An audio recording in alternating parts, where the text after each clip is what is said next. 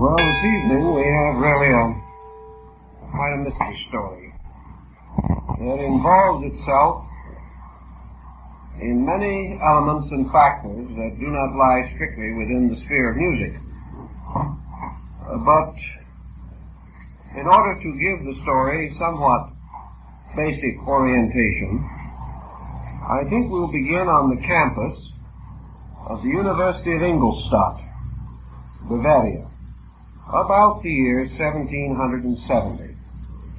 Many things can start on college campuses and uh, in a time of great political and social unrest, perhaps young people starting out in life have the clearest and most immediate recognition of the kind of a world into which they're going to be forced by circumstances to live and make their ways.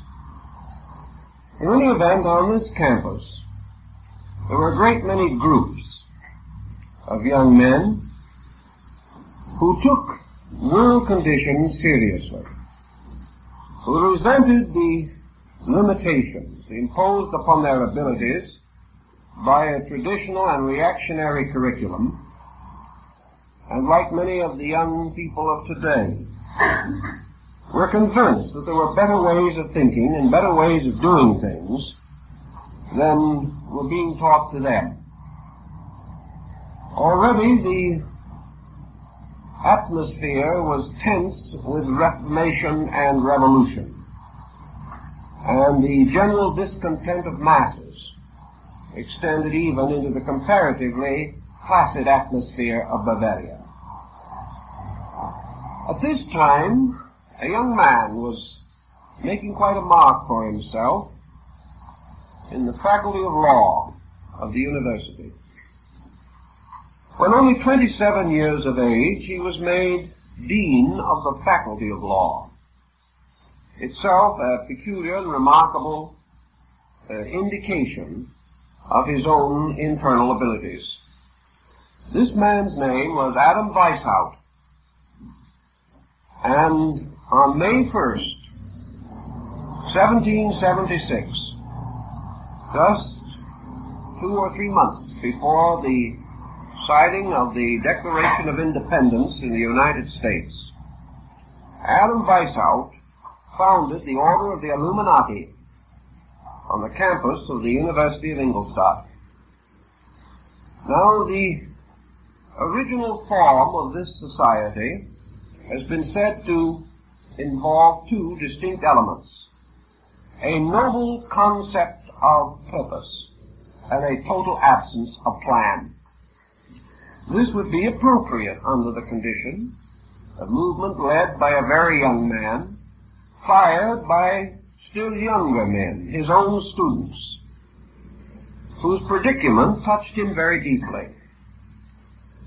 The Order of the Illuminati began with five persons. It began in the rooms of the Dean of Law. Fortunately, it did not remain there very long, for early in its development, Weishaupt came in contact with two very important men, Dr. Bode and Baron von Knigge. These two powerful intellectuals, leaders in their own worlds, fired with the concept behind this movement through their personal weight and their personal influence and with a result that was to be quite outstanding and unprecedented. The study of the Illuminist order in its brief history, for it only survived a very few years, tells us that while numerically its membership was never large, the quality of that membership was reminiscent of the Almanac de Gotha practically every important man in the progressive motion of European life, including a number of princes and rulers, were members of this fraternity. One of the earliest actions decided upon by Weishaupt was the tremendous necessity for the maintenance of complete secrecy. At that time, Ingolstadt was a nominal Jesuit college. And for many years to come, the struggle between the church and the liberals was to be heated and constant. And so the Illuminati devised an ingenious scheme. They took a map of Europe and they divided it according to a map of the ancient world, restoring in different places uh, the names of then forgotten or um, at least long dead empires and kingdoms. They then divided their own members assigning to each one a classical name by which it would be almost impossible to identify them. And they wrote their own sort of private historical geography of world situations. For our present pur- uh, purpose, it is important to note that in their new geography, the Illuminati assigned the name Egypt to Austria and that from that time on, in all of their official documents, references to Egypt were references to Austria. The purposes behind the motion of the Illuminati were several. First and perhaps foremost, the advancement of the right of the human being to think. That intellectual progress should be rescued from a reactionary traditional form and allowed to develop and unfold according to humanist concepts and instincts. Another important uh, phase of their activity was the statement of their slogan or the motto of their society, namely, liberty, equality, and fraternity. And these exact words later became the cry of the French Revolution. There is much to indicate that the French Revolution was influenced by the Illuminists, or the Illuminati, who moved behind uh, the surface picture, and whose names were associated with a number of prominent individuals and intellectuals moving in the great uh, era of revolutions.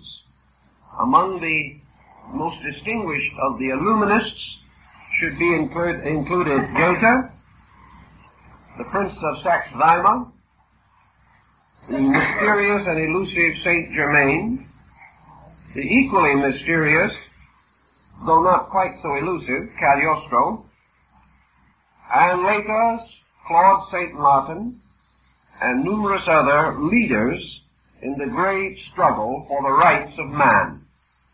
It is believed that this movement affected deeply Rousseau and Voltaire, and later in the United States, both Jefferson and Thomas Paine were accused of being members of this organization.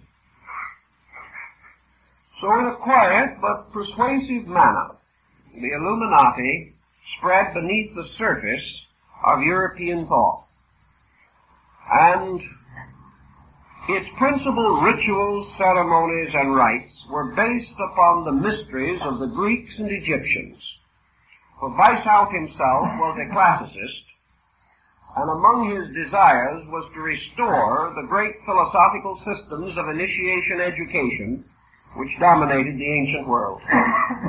He was unable to attain this end, but he still struggled valiantly toward it, and in their brief uh, span, the Illuminati became a most disconcerting force in European politics largely because they were so difficult to identify, and uh, their presence was universally suspected, whether they were there or not. The power of this organization became almost similar to that of the Ku Klux Klan in the South after the Civil War. It was feared by many, honored by some, and regarded as little short of miraculous by others.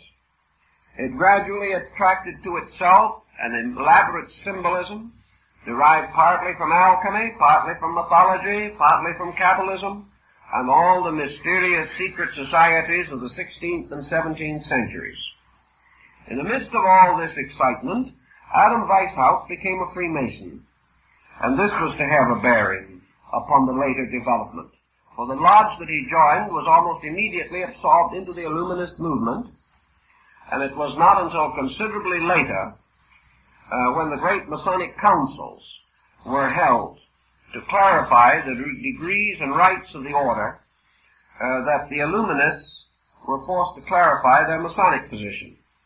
It was all quite an involved and difficult situation, but this is one of our roots because we learned by careful investigation that the outstanding Illuminist in Austria was Baron Ignaz von Born, who was a metallurgist and highly honored in the court of Maria Theresa.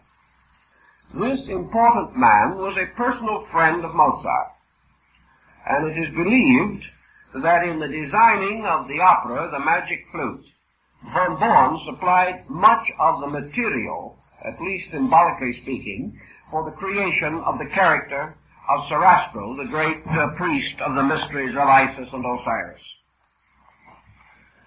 Uh, Mozart himself was recommended for Freemasonry by uh, Baron von Gemmingen, a distinguished uh, member of the order, and the lodge to which he belonged, by some circumstance, was also very closely associated with von Born.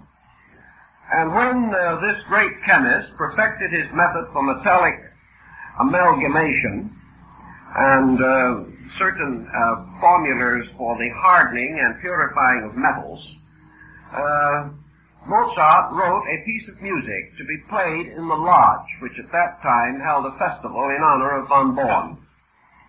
So we find that uh, Mozart, uh, Goethe, the Prince of Saxe-Weimar, Knigge, Bode, and later the man who was entrusted with the development of the story of the magic flute, Schikaneder, were all members of the Masonic order. Uh, this has certain bearing upon our problem, but uh, we will pause in this direction for a moment and go back into another interesting byway that leads in the same general direction. About 1731, there was issued a book called The Life of Sethos. Incidentally, we have a copy of the rare first English edition of this work in our library for anyone who wishes to consult it. It was uh, published first in about 1731 and came into English about 1760 or 70 or thereabout. The Life of Sethos was another book looking for an author, which sometimes happens in the world of literature. Uh, many suspects were advanced, but no one was ever finally decided as uh, the guilty for the perpetration of this volume. The story claimed to have been found as a manuscript in a European library and to be a true account of a man by the name of Sethos, who lived in the classical period and who was initiated into the rites of Isis and Osiris.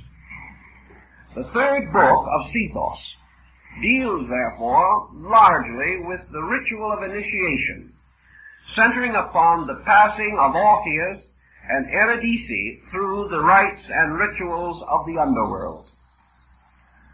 Various authors have commented upon the Book of Sethos.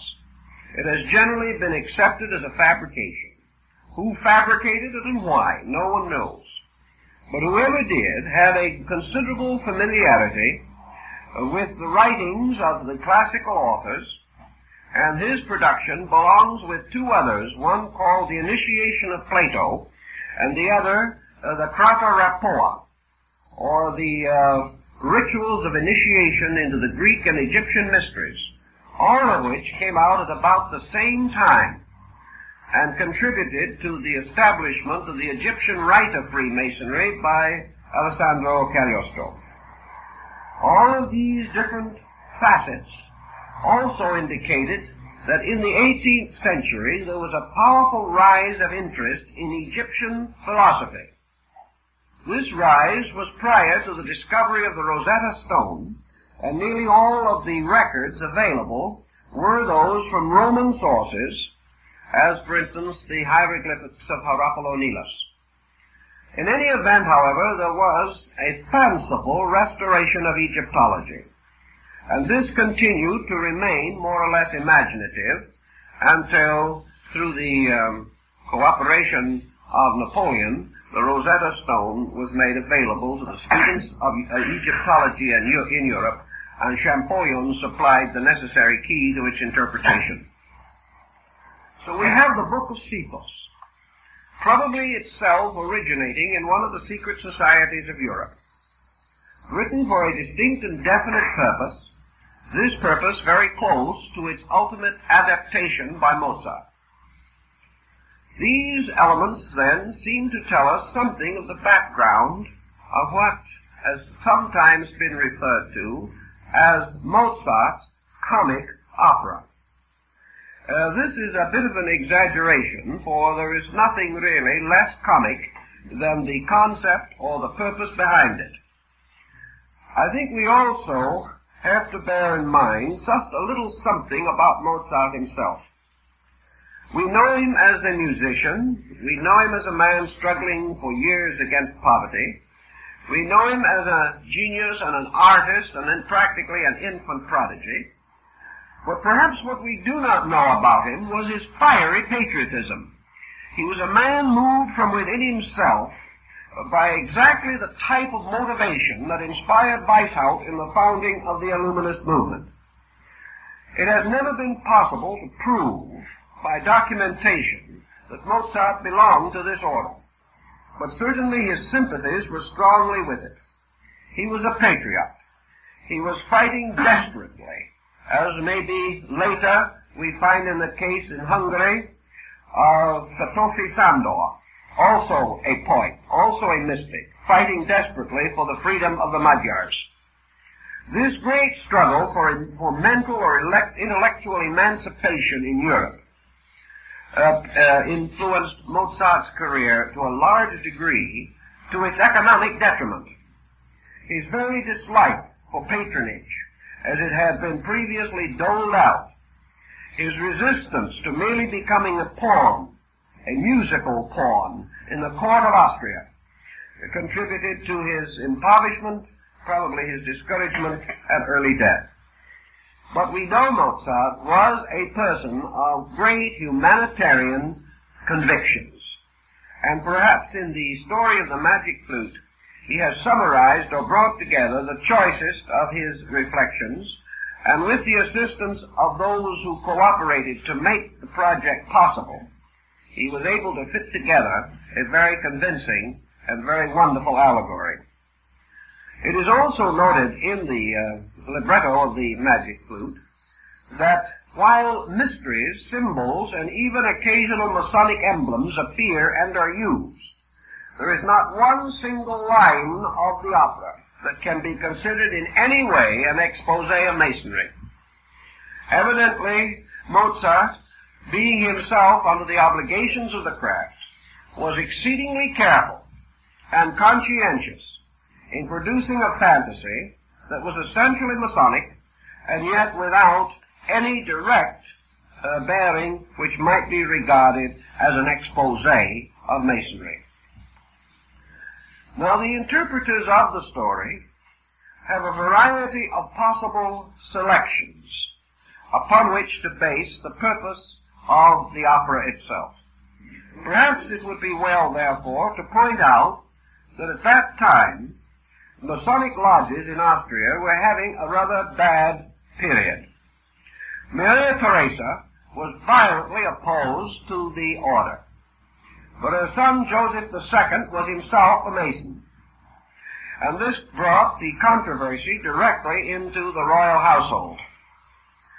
Uh, Maria Theresa is known on one occasion to have visited a Masonic lodge and attempted to break it up by introducing troops, soldiers, detectives, and other personnel from the state.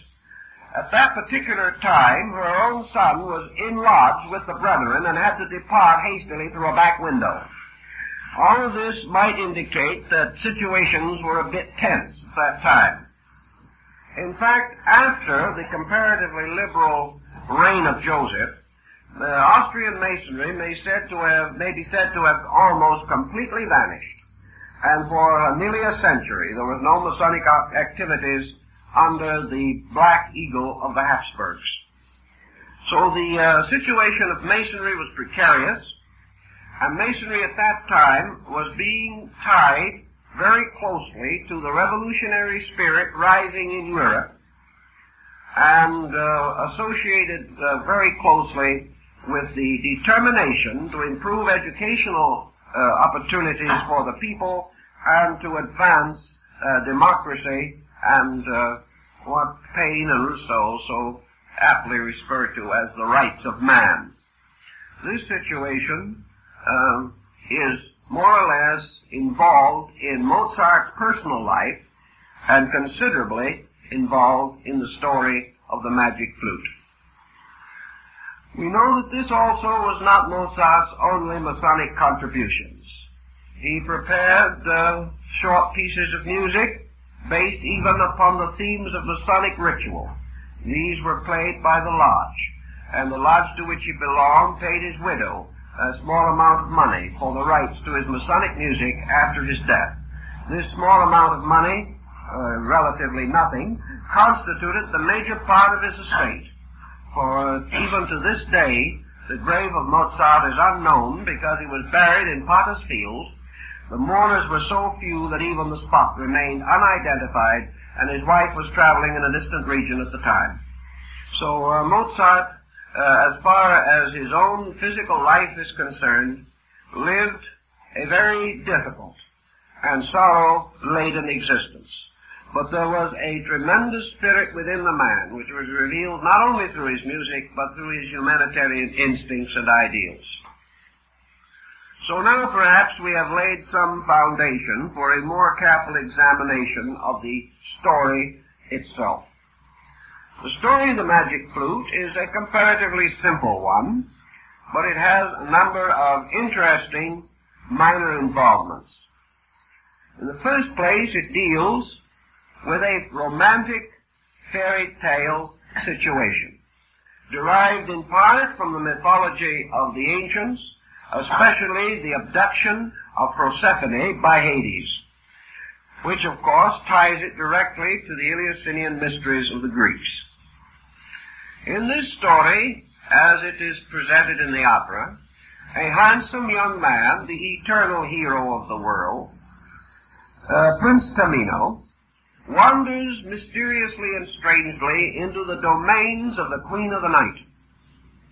Now the Queen of the Night rules over a fanciful world. And in this world, which is much of the world of Grimm and Andersen, uh, many strange and miraculous things can happen. And while Prince Tamino is wandering in this region, he is attacked by a great serpent. Uh, this great serpent pursues him, and as the young prince is unarmed, he finds grave difficulty in escaping, and gives up all hope that his life will be spared, when three mysterious maidens, called genii, appear, armed with spears with silver points. These slay the serpent, even while the prince himself lies unconscious from exhaustion on the ground. When he awakens from his exhaustion, and from the abject fear into which the experience has precipitated him, the young prince looks up to find himself confronted by a most extraordinary creature. This creature gives the rough impression of being human, but actually the parts of his body are covered with bird feathers, and he jumps around and makes strange sounds and noises and seems quite the clown and quite the eccentric. He is Papageno, a mysterious being who uh, is more or less of a fool and a buffoon. Papageno is uh, always boastful, however, and under a little pressure admits that he is the one who slew the snake and saved uh, the young prince. About this time, the three genii, or maidens with their silver-tipped spears, appear, tell the truth, and punish Papageno by placing upon his lips a padlock, so that he may not speak from that time on, so that for sometimes he, he wanders about, grunting and puffing against the padlock, but unable to make any particularly articulate sounds. The three maidens, or the three genii, then tell the young prince Tamino uh, that they belong to the suite of the queen of the night, that she knows that he has wandered into her region, and that she desires to speak to him and know him because she has a very definite and particular errand which she would like to have him perform. In due course, the young prince discovers what this errand is. It seems that the daughter of the queen of the night has been strangely and mysteriously abducted by a mysterious person named Sarastro, was Grand Master of the mysteries of Isis and Osiris. Now, of course, the Queen of the Night wishes her daughter, Pamina, to be restored to her. And so she supplies the young prince with certain things necessary to accomplish the rescuing of this fair maiden. Among other things, because he does not know the region, nor is he capable of coping with the enchantments of Sarastro, she gives him a magic flute uh, with seven openings on which strange and wonderful melodies can be played. And she also gives him a jewel-encrusted framed portrait of her daughter, so that he may recognize the princess when he sees her. As a somewhat less useful uh, aid, or what you may term associate, the young prince also inherits Papageno, who uh, promises to complicate almost any situation. Uh, Papageno, of course, also needs something to help him to take care of the difficulties of his assignment, so he is given an instrument called a branch of bells, which in actuality is a form of the old Egyptian sistrum, or rattle that was used in connection with the ceremonies of the temple of Isis. Uh, the group then start out on their journey, and with due and proper adventures, attempt the rescue of the fair princess, who is being held in bondage, presumably, by Sarastro. They come finally to his palace, which is presented in the opera as an Egyptian-like building or temple, and here priests and other dignitaries bearing Masonic symbols and chanting ancient rituals uh, form an appropriate background. Now we were also introduced at this time to another interesting and rather curious character who is a sort of jailkeeper or general overseer in the court of Sarastro. And this is Monostatos the Moor, a strange, dark man who would like to be a villain but is not very successful at it. Uh, as a villain, he is in love with the fair princess, but she not only spurns his advances, but Sarastro, ever watchful, makes certain that all his conspiracies come to nothing. So that uh, the Moor plays the part of a very frustrated individual who is unable to succeed in almost any of his undertakings. Uh, of course, the meeting of Pamina and Tamino uh, results in the rise of romance, and uh, Sarastro guards this situation also with great thoughtfulness. In the due time, the Queen of the Night, who is not at all pleased with the direction that events are taking, uh, also enters into the uh, palace of Sarastro forcibly, perhaps reminiscent of uh, Maria Theresa trying to break up the Masonic meeting in Vienna, and gives her daughter a dagger, suggesting that it would be wise for her to slay Sarastro. At this time, however, the young prince becomes under an obligation of secrecy in connection with the rituals of the mysteries of Isis and Osiris. While under secrecy, he is misunderstood by Pamina, who thinking that he no longer cares for her, attempts to kill herself.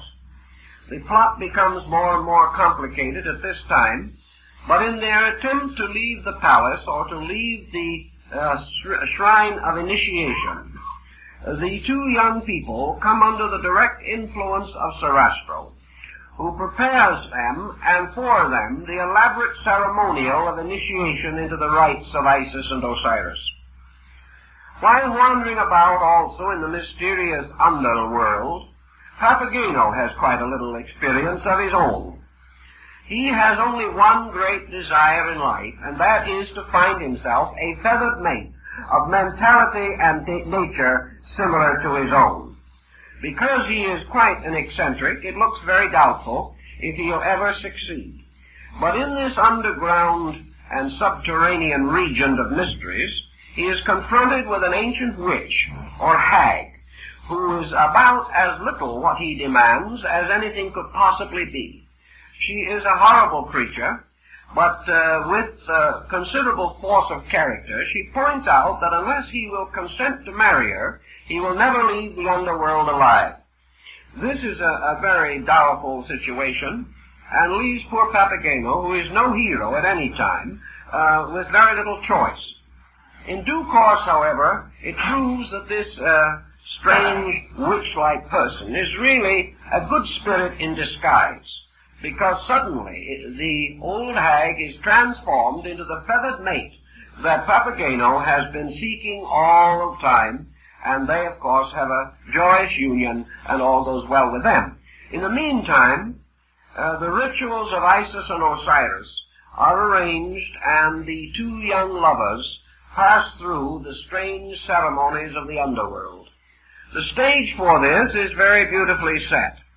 Uh, and uh, when the curtain rises, the tests of the elements are revealed. The stage is so divided that it has three doorways, one in the center and one on each side.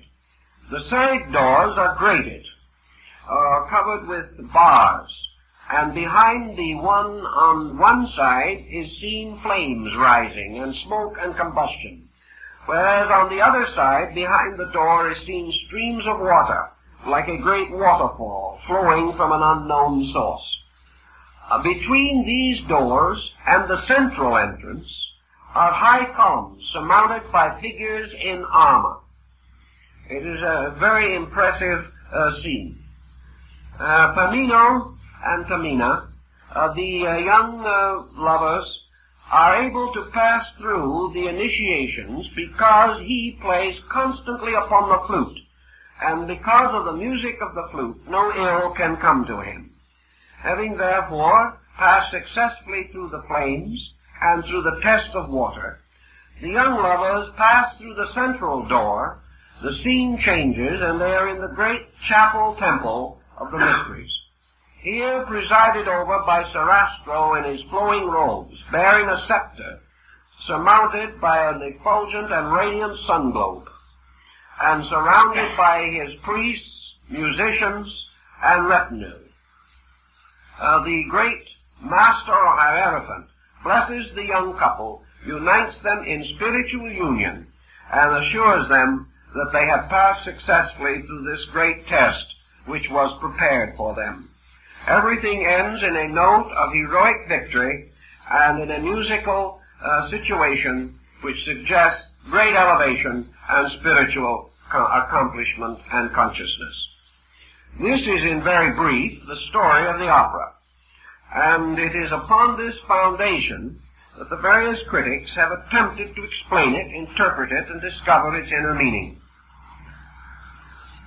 At least five different systems have been applied to the interpretation of the magic flute. These cover almost every phase of contemporary life and philosophical abstraction. First of all, it has been uh, assumed, for example, that the Queen of the Night represented definitely Maria Theresa. Uh, this uh, concept uh, is extended also into other phases.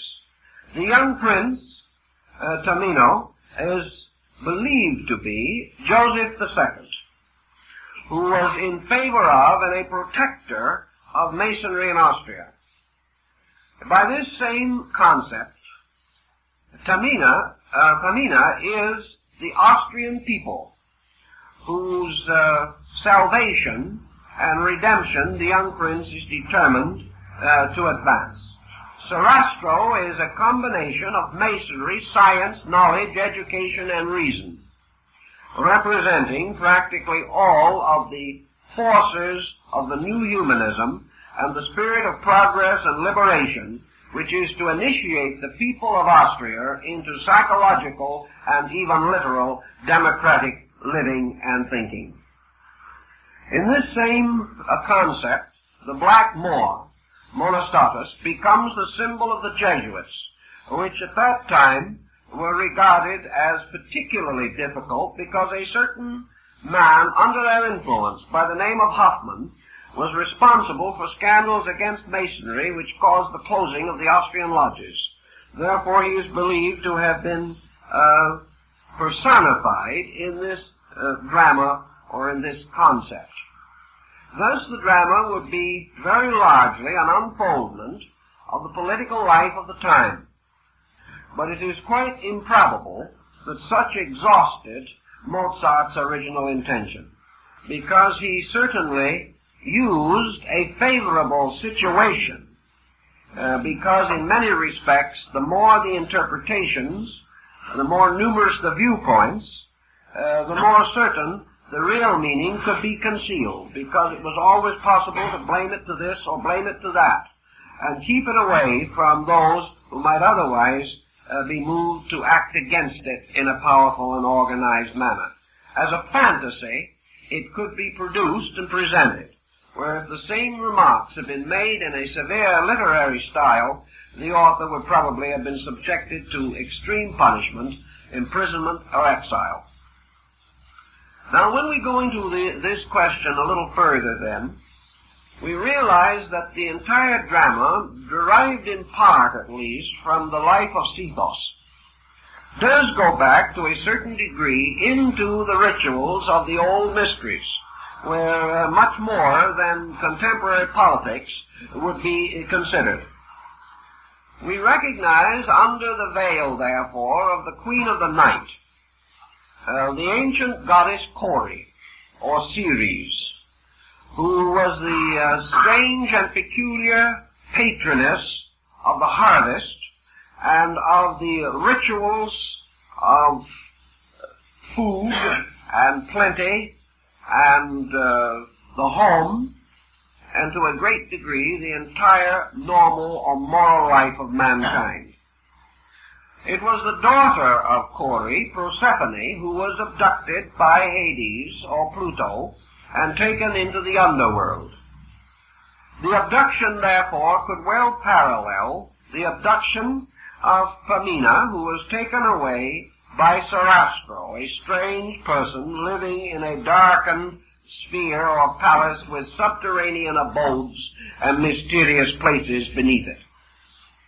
This deity, of course, is also as closely associated with Osiris, who after his uh, martyrdom became lord of the underworld, and the rituals of the Osirian rites were nearly always practiced in subterranean caves or crypts or rooms under the temples. So here we have two phases of the god of the underworld abducting the fair daughter of the goddess of the night. Under the same situation, Monostatos it pay, plays very close to the Egyptian concept of Typhon, uh, the betrayer, uh, the false one, who was also referred to as dark, and who was believed to have been a form of the Prince of Evil. These characters being variously distinguished, it becomes evident then that the young prince always represents the person, the initiate, the hero, the one to whom these adventures must naturally occur, and through whose regeneration and whose enlightenment represents, of course, the liberation of man himself.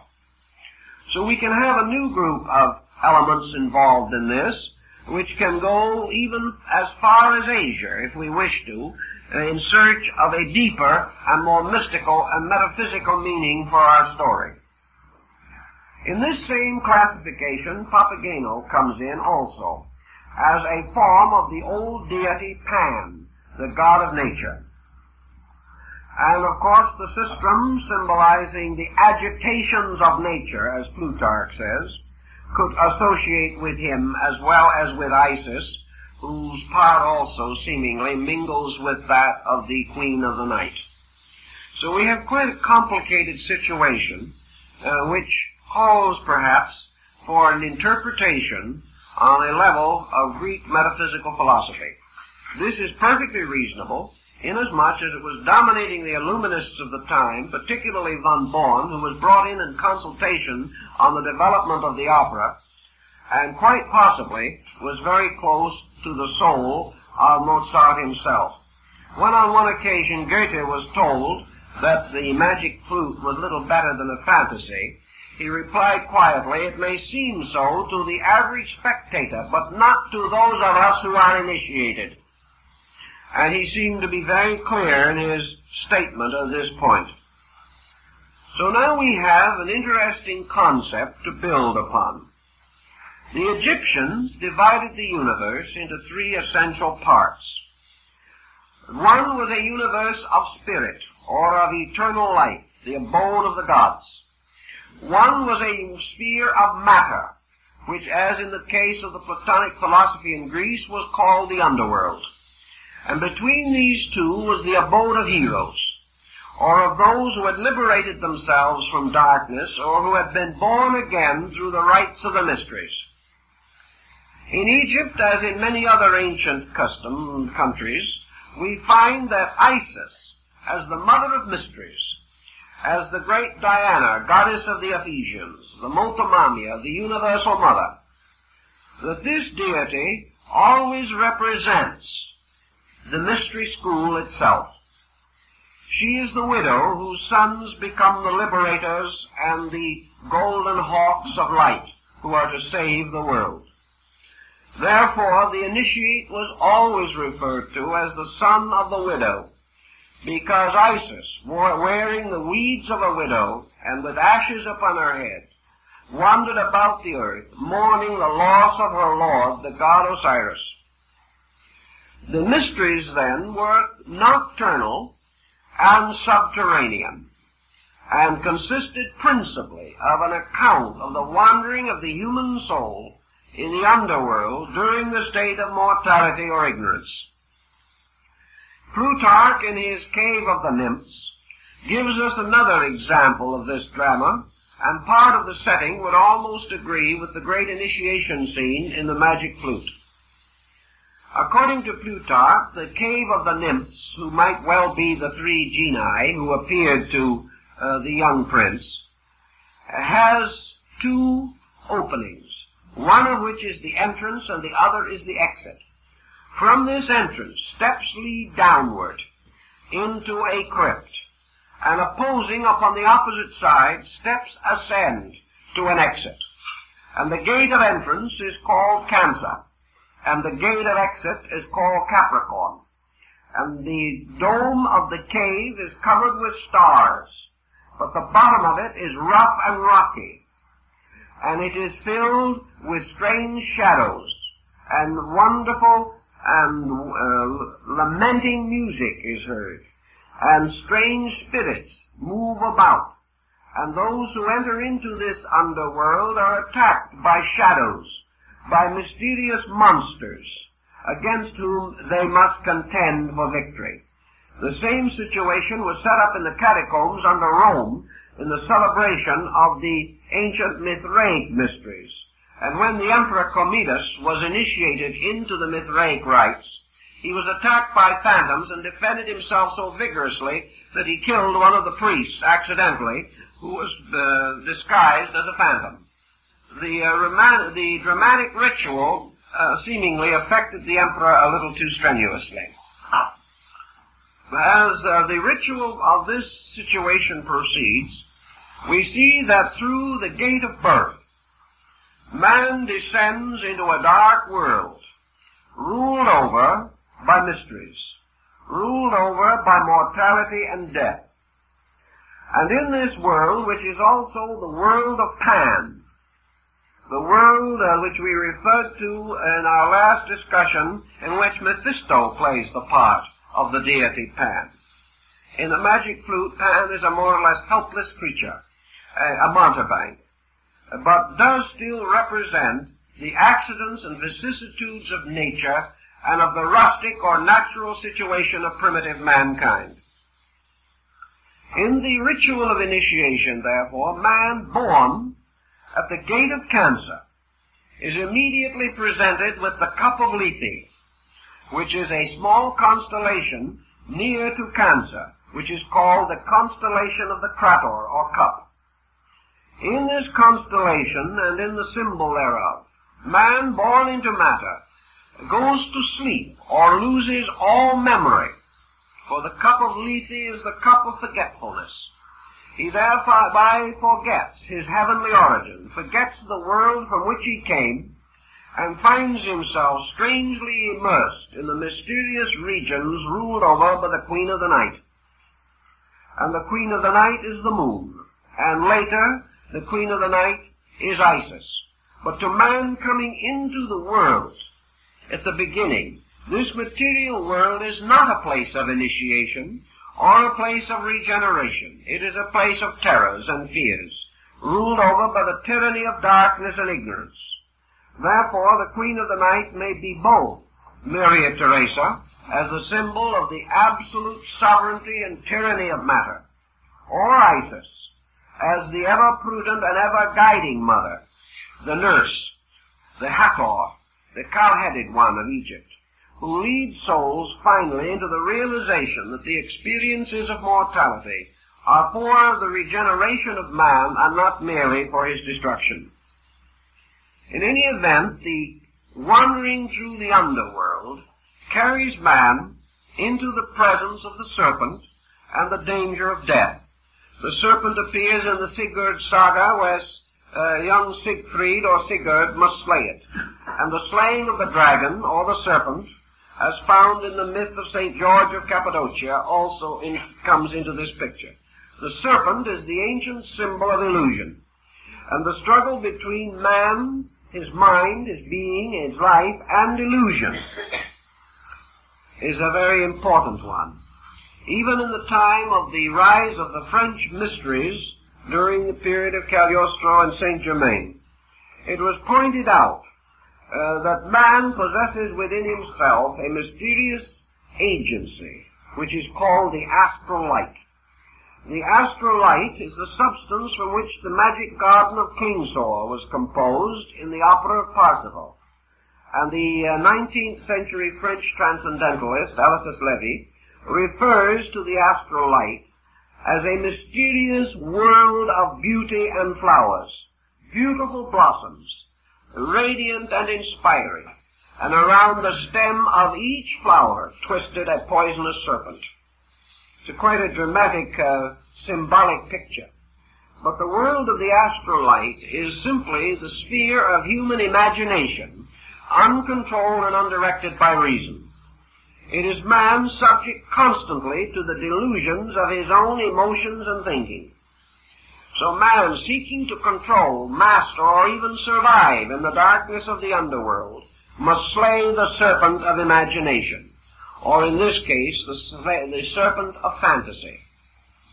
This is actually excellent Buddhism, because it is told to us in the teachings uh, of the Diamond Sutra, for example, that because of the phenomenal existence engendered by the sensory function of man, the human being lives in a world that has no existence except that which he bestows upon it.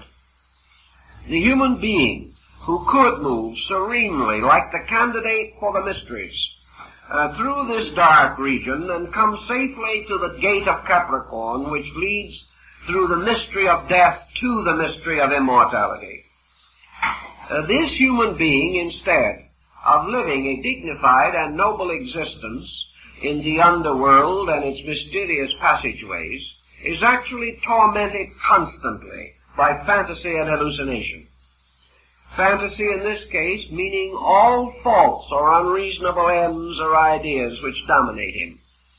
The fantasy of ambition, the fantasy of pride, of selfishness, of greed, the fantasy of, of passion and appetite, the fantasy of success or failure, all of the innumerable forces which deprive man of his no- natural nobility may be inferred. We perhaps know a little better about this fantasy element uh, than was generally known a hundred or two hundred years ago. because it is coming strongly to us in our studies of psychology. We know that the, that the delusions, frustrations, neuroses, complexes, and psychoses which affect man are nothing but delusions arising within himself.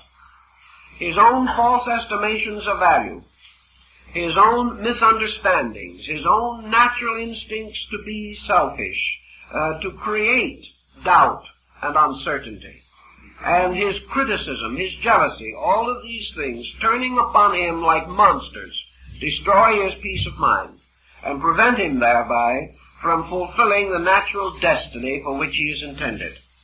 The three genii, like the three fates or the three norns, represent the dimensions of time.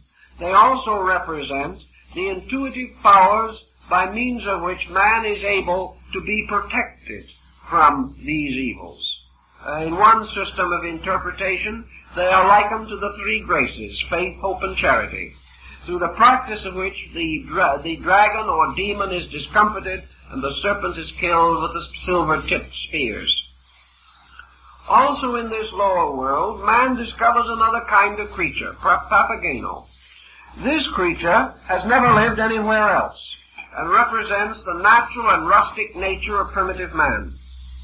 Here the truth seeker discovers, for example, that the world around him was filled with people who do not particularly wish to know anything. Not interested in seeking truth, but interested only in finding a mate like themselves and settling down and living out their lives. They have no ambitions of any importance, no aspirations. They do not know how to tell the truth, and in order to control them at all, a padlock must be placed upon their lips. They represent a primitive type of materiality, which also is to be found lurking in this subterranean world. And this materiality uh, divides itself in the nature of man. For as Goethe says in his Faust, uh, there are two souls within man. One to the heaven aspires, and the other in the earth aspires.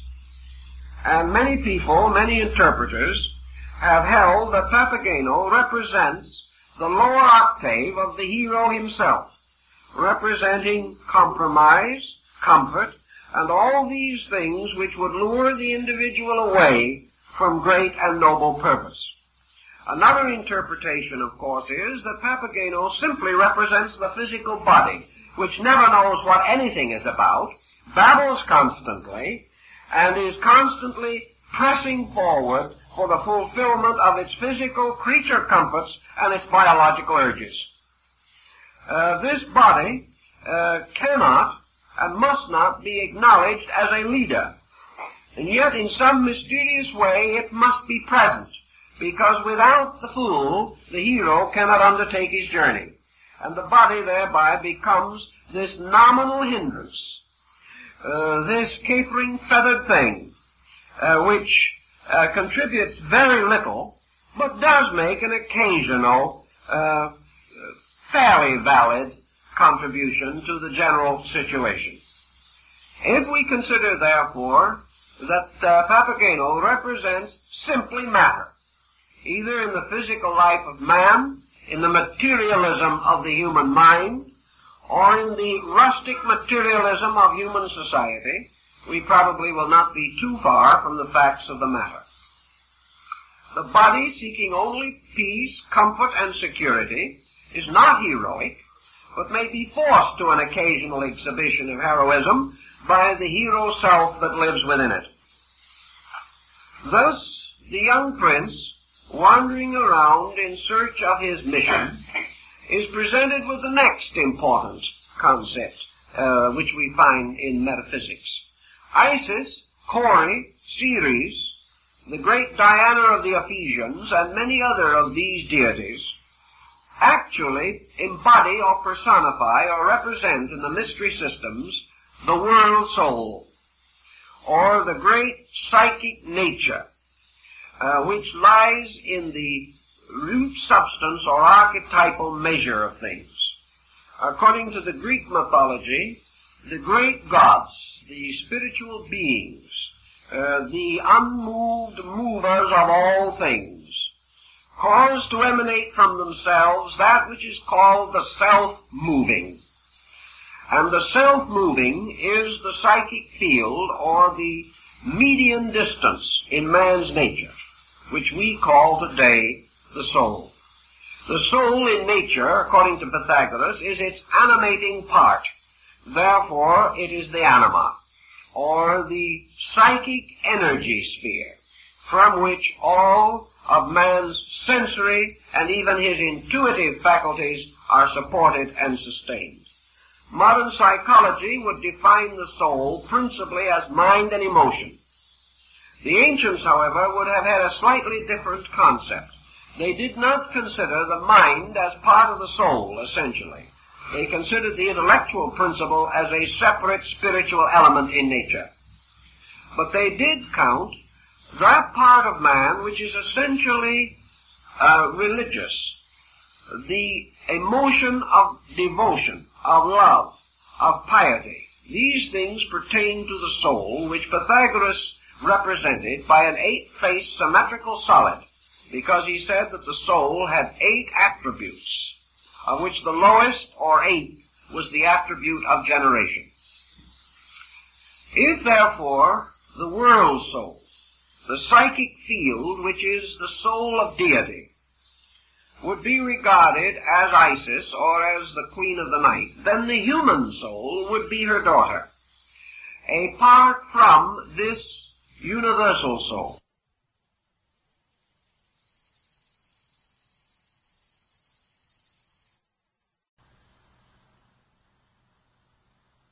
Socrates, the contemplative life, the attainment of the various cathartic disciplines, the relaxation of man's pressures, uh, the overcoming of selfishness and personal intensities, and the cultivation of the noble and serene life of wisdom. These things cause a separation between the soul and the body, by which the soul is permitted to be clarified, to become the ruler of the body or the master of it, and is given dominion over the corporeal nature and its limitations. Thus it is said that by death uh, the body is violently separated from the soul. But by initiation into the mysteries, the soul is gently separated from the body. And the uh, difference becomes essentially part of the old rituals. If then we consider the hero to be the spirit purpose, the will of man, resolved to rescue his own soul from its subterranean abode, we can see why, entering into the regions of Sarastro, that the drama should be concluded by what appears to be an irrelevant ceremony. In the original form of the story, there seems no reason why the rescuing of uh, Pamina should result in a ritual of initiation. It is not uh, particularly indicated as necessary. The point, of course, is that there is no way out of the underworld without the mystery of initiation. There are only two ways out of matter violent through death, gentle through wisdom. That which is violent, however, is a separation of the body from the soul but is not in any sense a relieving of the soul of the burden of worldliness. Death takes man out of the world, but initiation takes worldliness out of the man, and these two are vastly different things. Buddha points this out in his doctrine of rebirth, stating that the loss of body has no essential effect upon consciousness for consciousness must be rescued by a direct act of volition and not by an accident of death. In other words, death is the common accident of man. But immortality is attained only by a purposeful intent and is never attained accidentally.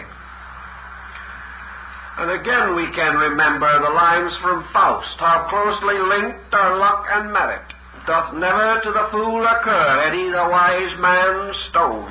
I swear it, the stone had no philosopher. And that is the concept again in the magic flute. So, in spite of the fact that probably neither the hero nor the heroine had given any particular consideration to the matter, Sarastro, as master of the mysteries, realizes that the only escape from the, of these two into the philosophic empire is by the mystery of initiation. And it is also only in that way that they can overcome the temporal power of the Queen of the Night. And the Queen of the Night, to the very end, seeks to frustrate this end, because representing mortality, she also presents her demands. And her demands are that man shall leave this world only by death, indicated by the presentation of the dagger. The Queen of the Night also wishes to dispose of the high priest, Sarastro who stands between her and her physical control of the universe.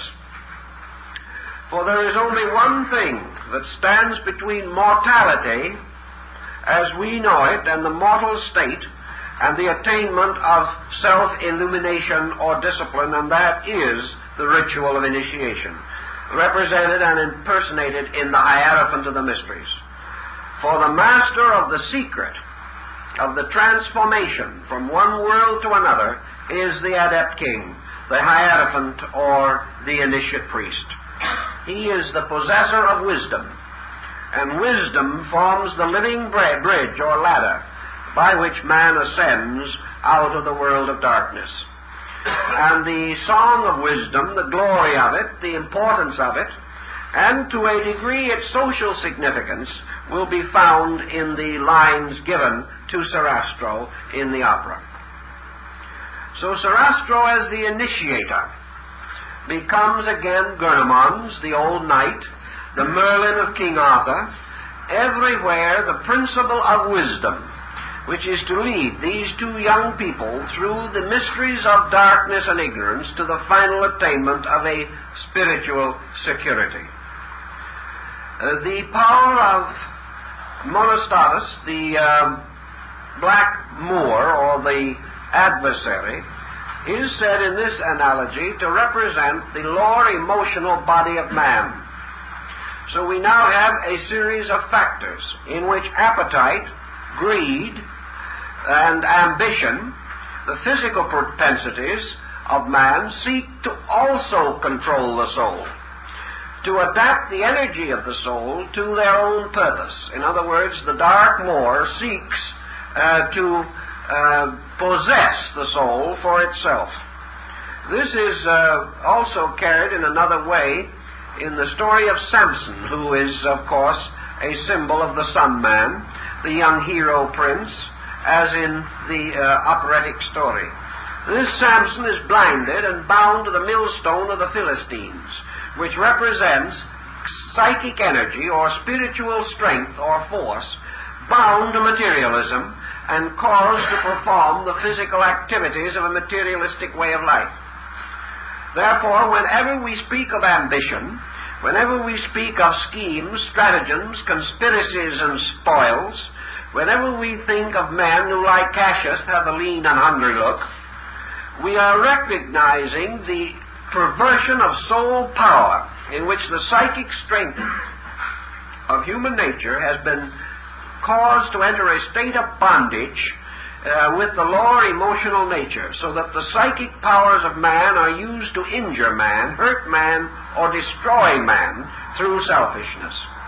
The soul, thus bound to the lower world, uh, is said, uh, would be said to be captured by the black Moor. However, Sarastro, wisdom, will not let this take place.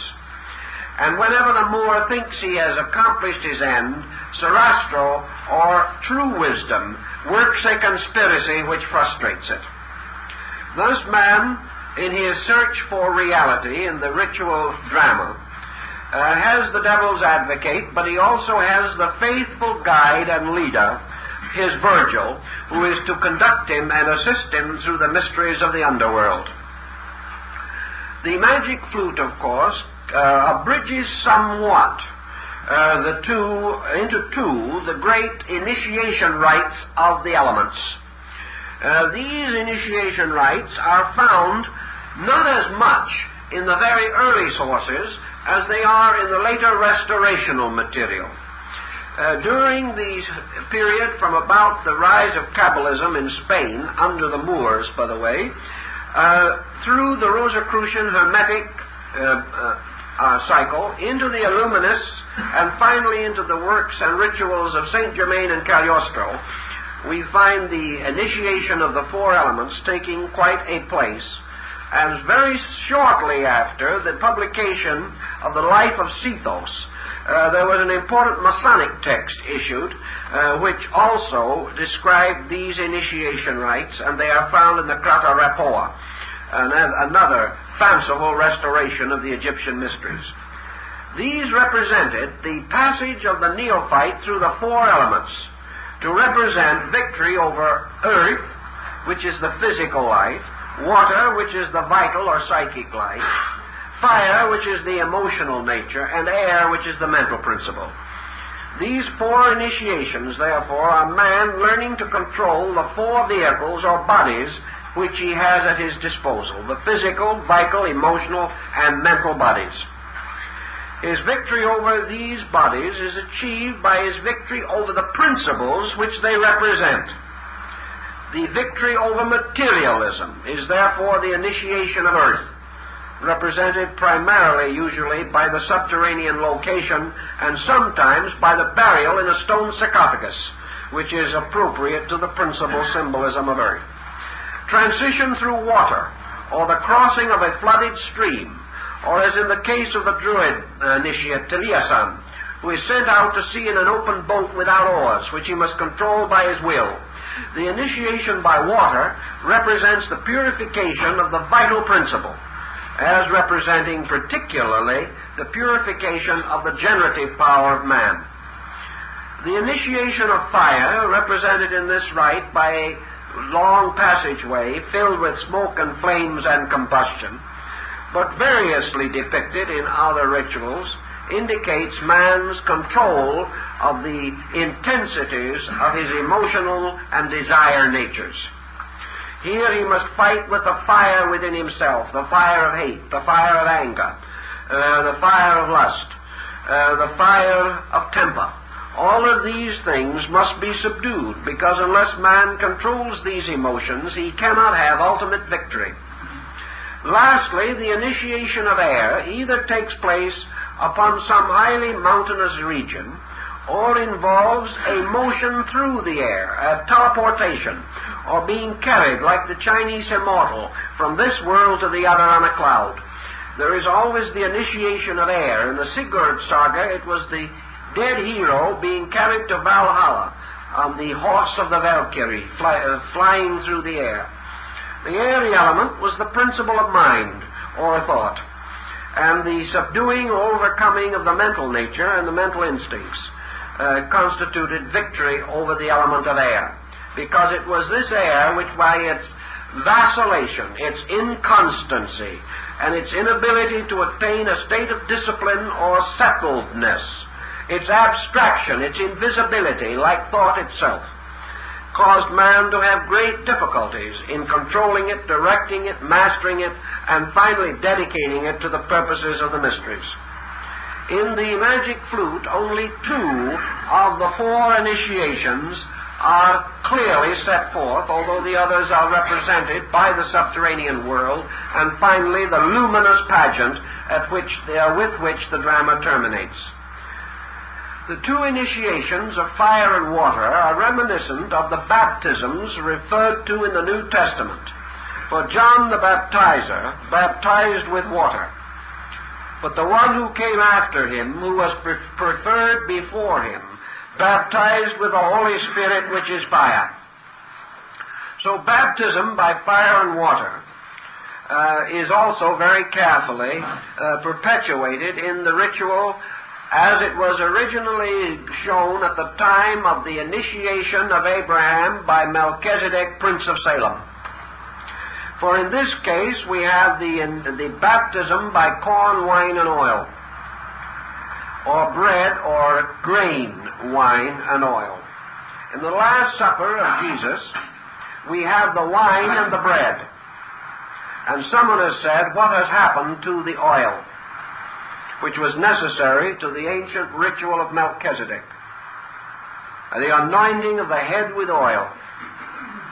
And of course, the answer lies that the word Christ from Christos, Christo, means oil.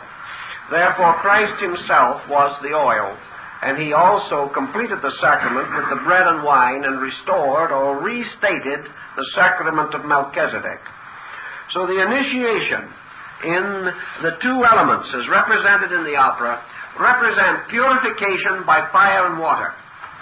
Purification by fire the higher of the two rites. Uh, represented the purification of the soul or psychic nature, and by water the purification of the body or the material nature. Water was the symbol of cleanliness, the cleanness of both the body, the soul, and all of its attributes. By fire, we have the initiation of inspiration, or the individual cleansing and purifying the higher or spiritual parts of his own nature. So body was purified by water, soul was purified by fire. That is why in the legends of both uh, the Sigurd Saga and the Arthurian epic, we have the sword representing will or spirit, uh, which is tempered upon the anvil and uh, is made to be true steel by passing through the mystery of fire. Fire, therefore, tempers the sword of will and gives it the strength or the keenness for the labors for which it is intended.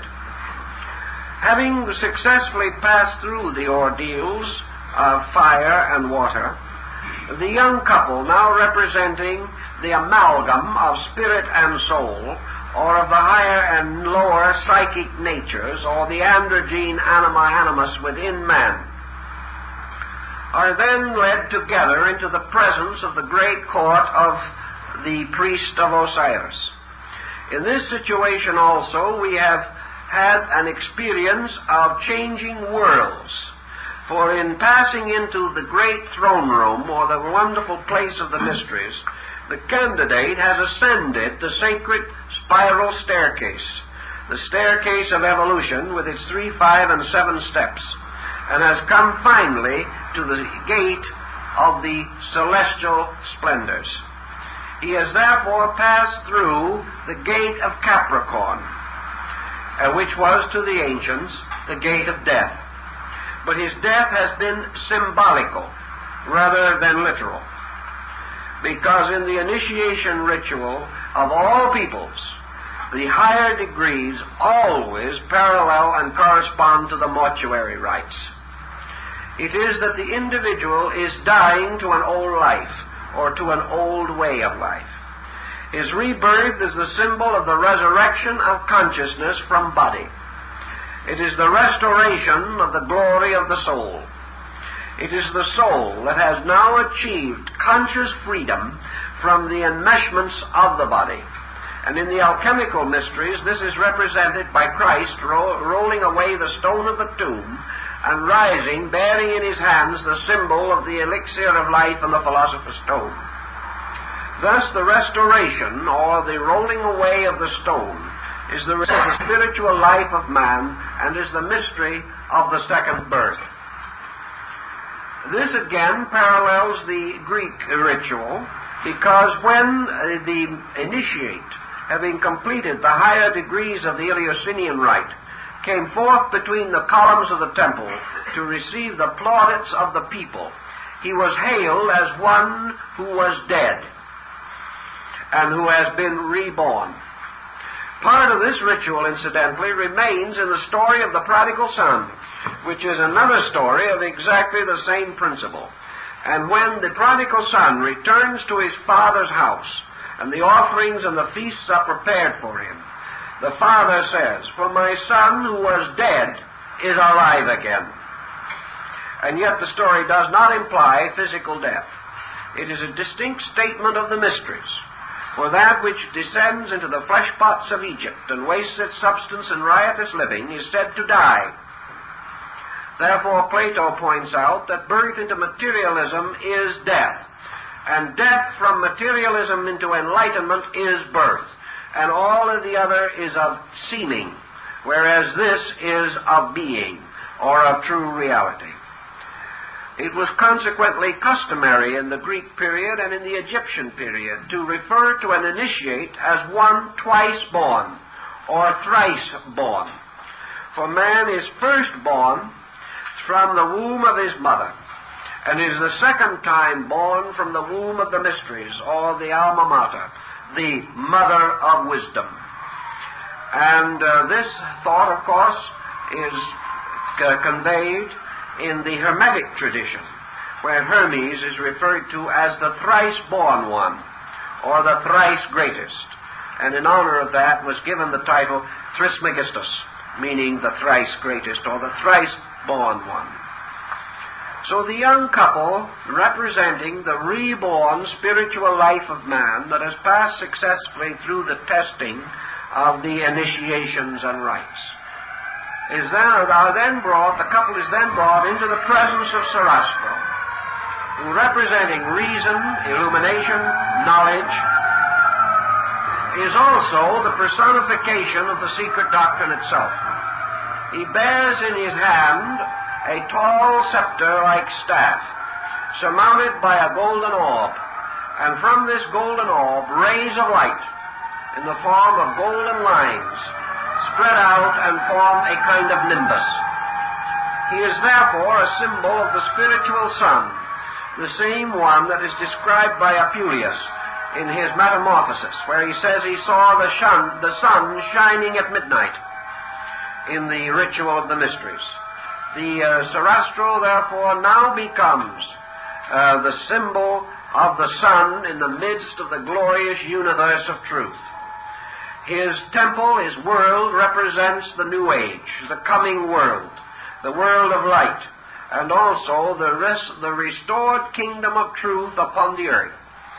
And it is to the Illuminists and some of this group that we are indebted for this very interesting and powerful concept.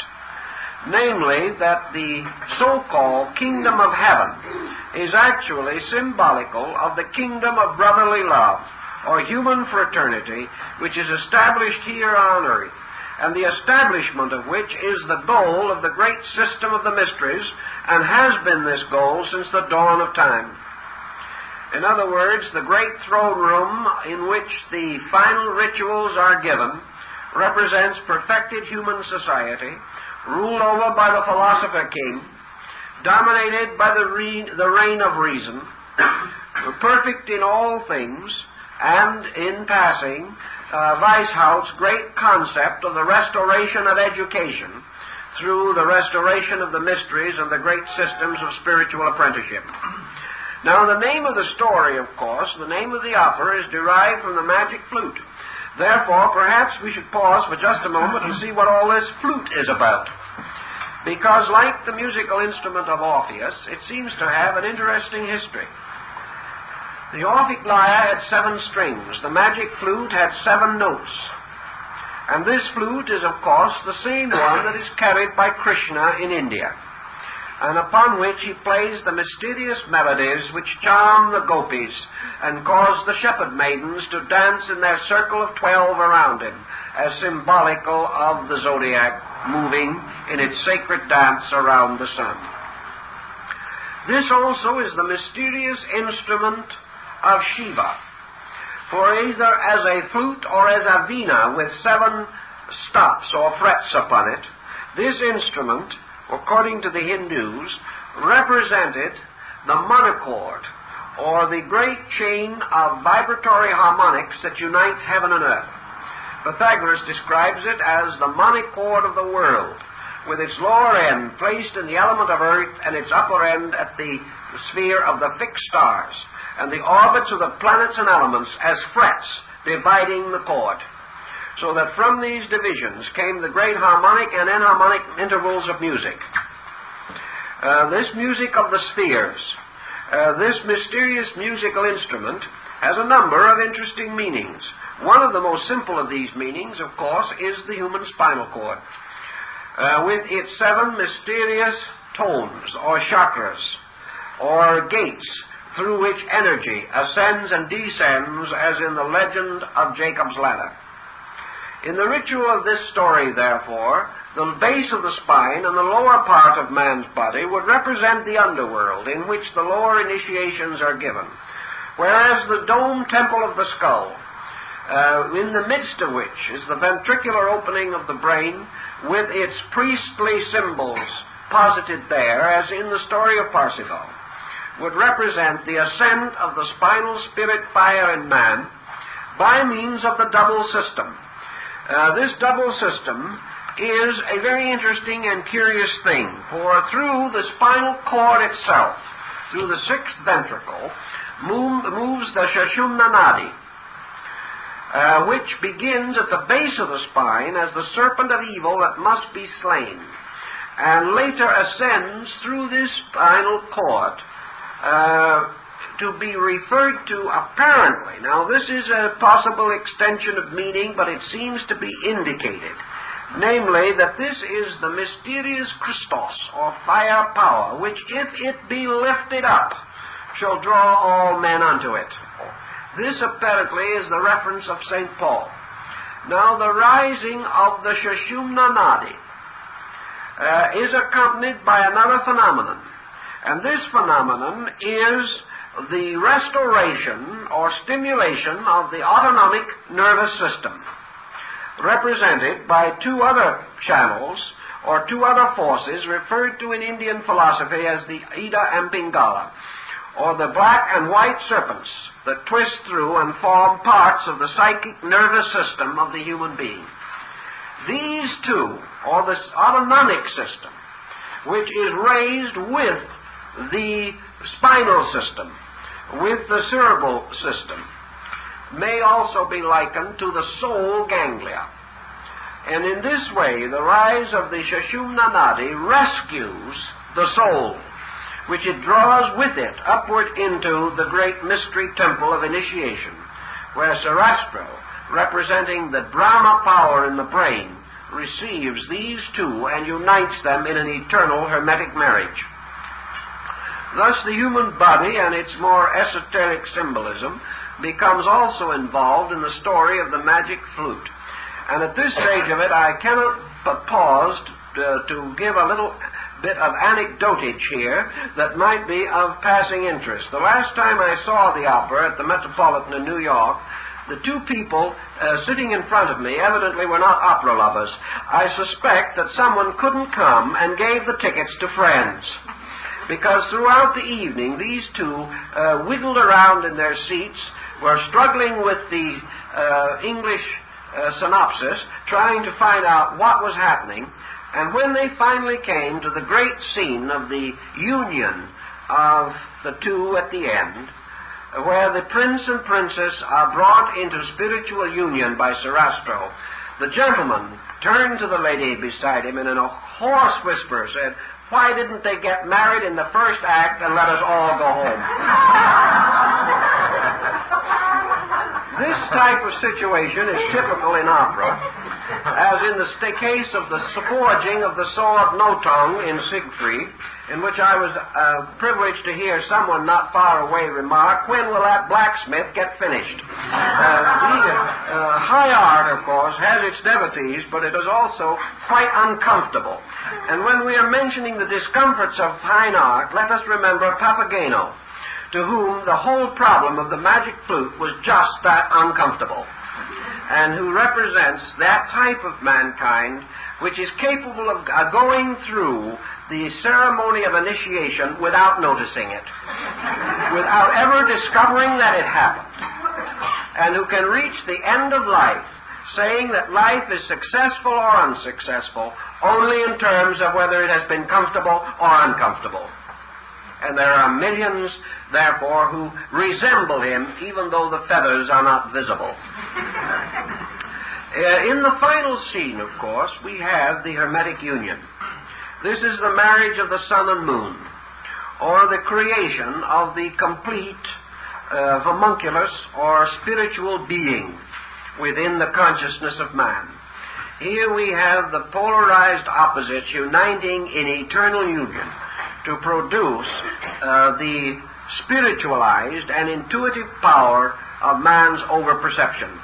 the Greeks and Egyptians both agreed uh, that when the energies of man, through discipline, through enlightenment, through method, through various procedures, more or less reminiscent of Eastern doctrines, but also in the West obtainable by pure consecration, by the gradual unfoldment and development of spiritual apperceptive powers. That when this union is finally consummated, man becomes truly human. Up to that time, he is only potentially human. He does not attain to his ultimate and complete humanity until, according to the ancients, he had received initiation. The ancient sacred number was 12. And this number corresponded to the divisions of the circle or the great cycle of the labors of Hercules, which we call the zodiac. Man at birth is born after nine months of prenatal conditioning and preparation. For this reason, the Chinese celebrate his first birthday when he is three months old, because to them the prenatal epoch is part of the first year of life. But man, it is said, to achieve true birth must uh, pass through nine months in the womb of his mother and three degrees in the womb of the mysteries. For this reason, the ancient rites were nearly always divisible into three primary degrees. And these degrees represented man's ultimate mastery over the material, psychical, and spiritual mysteries of his own existence. He thus became master of body, soul, and mind, or body, mind, and spirit, according to the divisions uh, of a particular group. But the same implication is always involved. Man, by the mysteries, becomes human. He becomes human in the fact that there is then no deficiency left within him and that his purposes, his ideals, his principles, his understanding are all truly human. And the Greeks, Egyptians, and Hindus have given us certain definitions of this human state. That man, as a human being, must abide in a world unique to himself. He can no longer accept the illusion of matter. He can no longer be controlled by the elements of the physical world. He is described as living in the world but not of it, because he has discovered that his true destiny and his true nature lies not in the achievement of material things, but in the perfection and unfoldment of his own internal resources.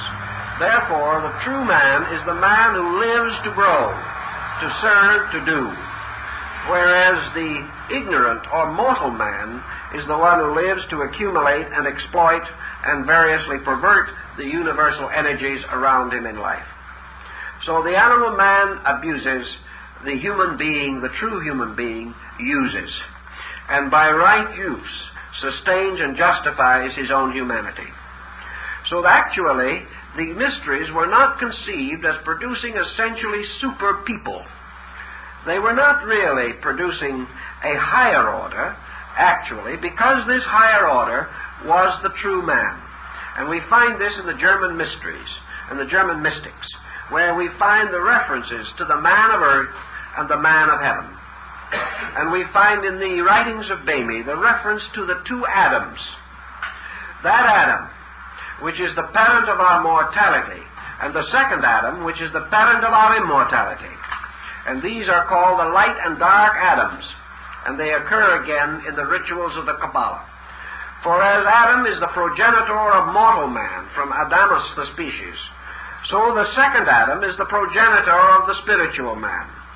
And the second Adam is the initiate adept. He is the symbol of the one who is to be the teacher and redeemer and progenitor of the spiritual life of man. These peoples, therefore, possessed what they believed and held to be certain secret arts and sciences, which were communicated by degrees only. And this progressive science of human regeneration constituted the substance of the mysteries. And it was this substance uh, that Adam Weishaupt wished to restore at the basis of the educational system of Europe. He had no way of realizing that the age of the mysteries was gone. And the young intellectuals at Ingolstadt who were seeking this same inspiration were not able to judge the weight of opposition or the terrible pressures of the political and social times in which they lived. The noble experiment did not succeed, but it left certain monuments and certain records beyond and behind it. And these monuments became of the gravest concern to tyrants, causing a century of effort to be made to wipe out every vestige, again, of this restoration of the mysteries in Europe. It was not possible or considered desirable to wipe out the magnificent music of Mozart or the wonderful opera which he built around this concept. It was very simple, therefore, simply to ignore or to deny its content. Let it remain as a magnificent piece of music. Let it remain as a fantasy, a wonderful tale drawn out of the Arabian Nights of the human mind, but not to remember or to uh, recall that it was founded upon a great political experiment and that Mozart himself was working for this very end that man, humanity, the young prince and princess, should be led together to liberty, led to a better way of life, led to an opening of universal opportunity, and that ultimately the reign of wisdom would be established in the world. This was attempted in the French Revolution, Revolution but failed. It was also attempted in the American Revolution, but the secret and priceless heritage of this experiment is still obscure, although we have constant evidence and consistent reminders that there was a purpose and a plan behind the formation of our Western way of life. Uh, we know that at one time George Washington was concerned over the Illuminist problem. And uh, there were a number of groups in this country who used it as a political football. And during some of the early uh, political campaigns involving John Adams and John Quincy Adams, it was rumored that the adversary was an Illuminist and therefore should not be under any condition elected to office. There was a scandal that lasted for about 15 or 20 years and brought some of the strongest wits of the time into play. Gradually, however, the entire matter faded from public attention, and other purposes uh, became more uh, aggressively prominent. But the, uh, the Lodge of the Illuminists did linger and did have a part to play, and in uh, one of our publications on the Masonic Orders of Fraternity, we point out how this Illuministic movement and related Masonic interests were largely responsible for the revolution in Latin America under Simon Bolivar and the liberation of Italy under Giuseppe Garibaldi, and the liberation of Mexico under Miguel Hidalgo. All of these men were connected with what were called the reading societies. And these reading societies were Illuminist groups that actually were established in Latin America. So this pattern goes on and on. But uh, perhaps there is no monument or document of it that has as much dramatic interest to us as the magic flute, because in it we are allowed to escape from the immediate political pressures of the 18th century and to sense perhaps the spiritual aspiration that was underneath all of this idea. And where and how could this spiritual aspiration be more adequately or beautifully set forth than in great music, which strikes directly into the inner life of the individual and reminds him of the great good that can be, that might be, if he man himself was able to accept it. So the mysterious world of Sarastro and his wonderful temples uh, disappears into a kind of thin air. But that thin air is within ourselves as an attenuated spiritual atmosphere. And all of these great contributions continue subconsciously to impel us toward the fulfillment of our great spiritual need and destiny. Thus, uh, he tells us in this opera that the mysteries as we knew them are gone, but that society itself is now the place of initiation. That in the conspiracies of states and nations, in the tyranny of despots, and in the constant struggle for human life, man is passing through the subterranean passages of an initiation rite. And he now has a very wonderful and all sufficient guide and leader in the form of Sarastro, increasing knowledge, universal education, the public school system, and all these things. Imperfect, certainly, but imperfect only because man is willing to permit them to be that way. because Sarastro can be merely a demagogue, as he represents education. But if man will meet him, will retire into the rites and mysteries which he requires, wisdom will bestow its greater blessings. Man does not need to live upon the surface of knowledge any longer than he desires to. For the moment he has the necessary insight, he can penetrate that surface and come into the presence of greater and more noble realities and truths. All of this is set forth to remind man that beneath the surface of his living is a secret meaning, and that if he will seek this meaning and will demand of others around him, his leaders, uh, those who represent him in various public relationships, if he will demand from these the high standard represented in the story of the magic flute, he can have it. But man must decide whether he is going to be the man or the mouse in this case. Uh, perhaps more correctly, whether he will be the prince or Papageno. Whether he will be willing merely to hunt for a mate and be satisfied completely with a physical existence, or and satisfied also to shake away evil with his sistrum or his little stick of bells or whether he will actually seek solution. If he is willing to seek solution, he can find it. If he is willing to follow the ancient road shown by Sarastro in the temple, and is willing to be led into the mysteries, he will then find beyond the better world, the greater civilization, and he can build the restoration of the shrines of Isis and Osiris. These simply represent the shrines of truth everywhere available. Truth now hidden deeply, so called underground, locked within the psychic life of man. So the final drama is the unfolding of the soul within man and its final emergence under the directing power of reason. So that finally, within the heart and mind, are the magnificent pageantries of this opera. All these different points and different systems and symbols have interest for us, and each must choose in his own way that which he considers most appropriate to his own need. But one thing I think we can say beyond any question of doubt this is not a comic opera, nor was it intended primarily to amuse.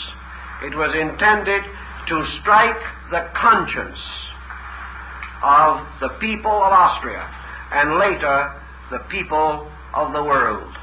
We can paraphrase the famous lines of Hamlet in this case and say, the opera is the thing with which to catch the conscience of the king. In this case, the king was a queen, Maria Theresa. But the purpose of the opera was to catch the conscience of Austria and to cause this nation to become a leader in the spiritual life of Europe. It was satisfied, however, to play the part of Papageno and gave us some delightful waltzes by Strauss. It did not give us, however, the liberation because Austria did not attain it. But it was Mozart's dream and hope that this country would lead the great restoration of learning. Actually, it did, but only in him. He became an imperishable monument to the dream which could have been Austria but which was finally destroyed in the fall and collapse of the Habsburgs. But in Mozart, Austria lives. In Mozart also, the Illuminati found a name and a patron who has conferred upon them eternal honor. I think that is the subject for this evening.